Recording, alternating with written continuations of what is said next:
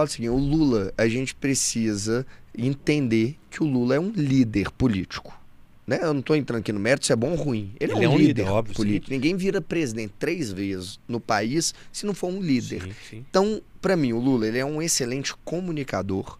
O Lula toca o coração das pessoas, ele sabe falar a língua das pessoas, mas acho também que o Lula não ganharia essa eleição se o Bolsonaro fosse minimamente inteligente.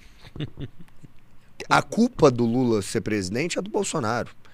Então, mas como o Bolsonaro não teve o mínimo de capacidade política para ser reeleito, o Lula, obviamente, virou esse contraponto. Uhum. E um vai alimentando o outro.